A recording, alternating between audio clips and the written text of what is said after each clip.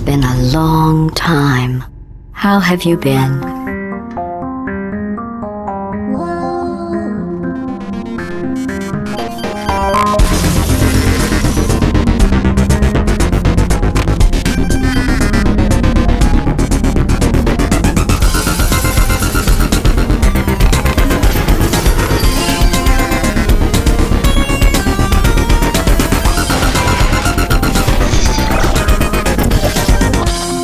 Think we can put our differences behind us.